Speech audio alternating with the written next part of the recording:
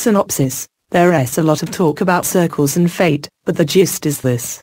About 20 years ago, a terrorist attack killed a girl named Momoka. This made her younger sister obsessed with replacing her in the eyes of her parents and childhood friend. It also turned her best friends into obsessive psychopaths. Meanwhile, the children of the terrorists have a sick sister, and their quest to cure her forces them to cross paths with the aforementioned people. But it all turns out to be a battle between this evil bunny and a little girl with a magic diary. And penguins. What was with the penguins?